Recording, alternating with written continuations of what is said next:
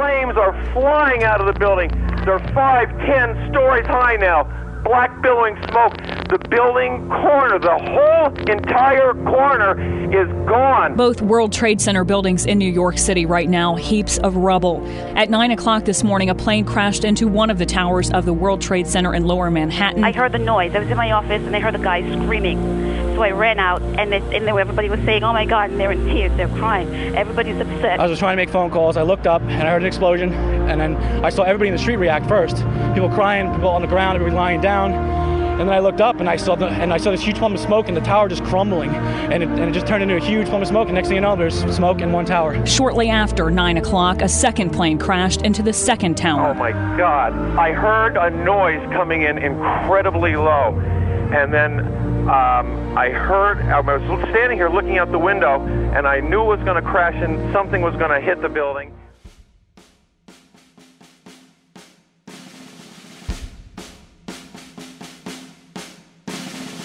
Now we stand as one.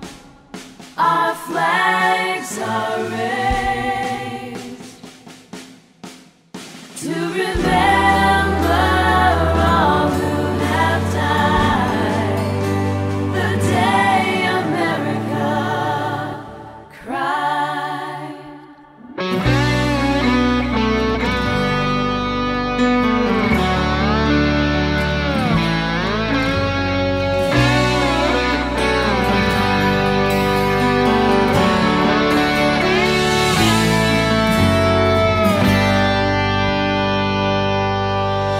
In the shadow of the Statue of Liberty, in the torchlight of the land of the free, lies the burning wreckage of our fathers' dreams, and the souls who paid with their lives.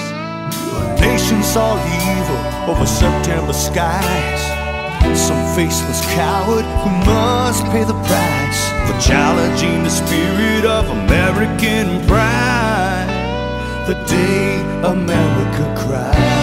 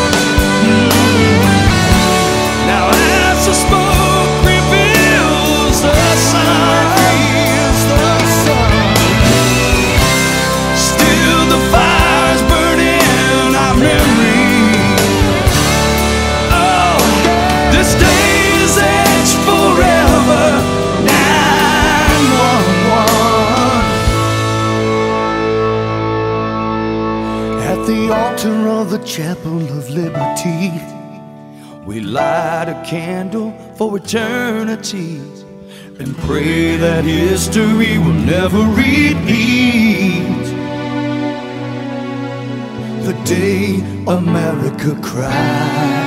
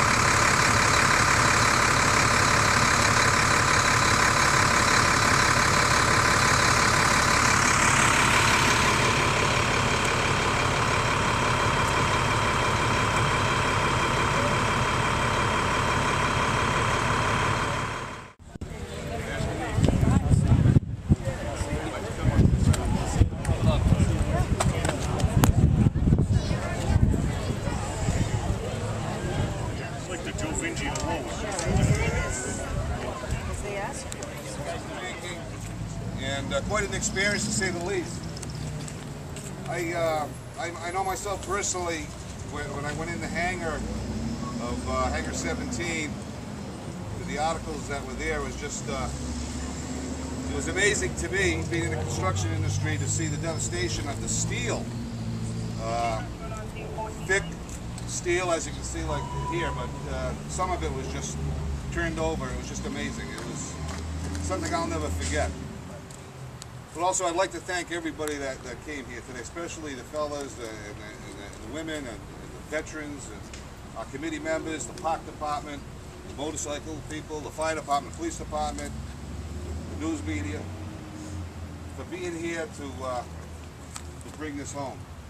You know, this is something that is uh, a historical artifact that we're, not only our generation is going to